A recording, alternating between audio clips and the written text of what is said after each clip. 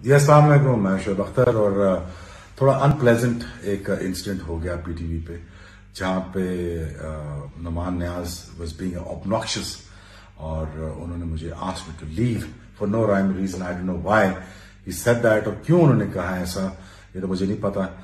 फिर ब्रेक पे चले गए और नेशनल टीवी पे नेशनल स्टार को उन्होंने अब्रप्टली इंसल्ट करके उन्होंने साइड पे कर दिया मुझे। और फिर ब्रेक पे चले गए। देन आई रियलाइज़ यार कि सारे सुपरस्टार्स बैठे हुए हैं फॉरनर्स बैठे हुए हैं क्या इमेज जाएगा?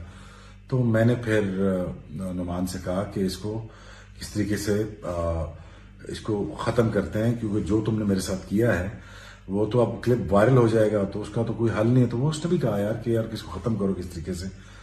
तो देन आई सेड यार कि चलो इसको किस तरह कुछ करके ताकि बाहर को मैसेज गंदा ना जाए या बुरा ना जाए या फॉरनर्स को बुरा ना लगे।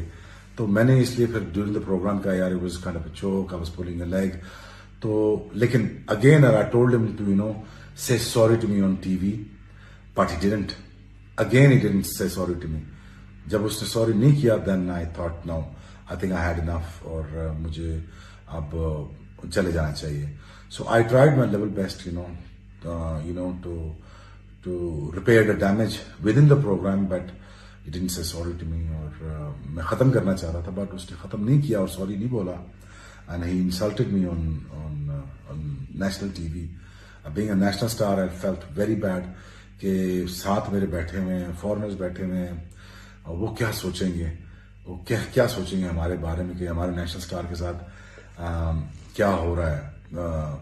नेशनल स्टार नेशनल स्टार के साथ क्या है ये हरकत हो रही है? सो so, सो मैंने try to patch it up with Nauman during the program but he didn't say sorry to me और फिर मैंने यही समझा कि I should resign it and leave it and then I decided to you got up and just left and very bad incident very sad incident should not happen Pakistan और इतनी बड़ी victory जीता है।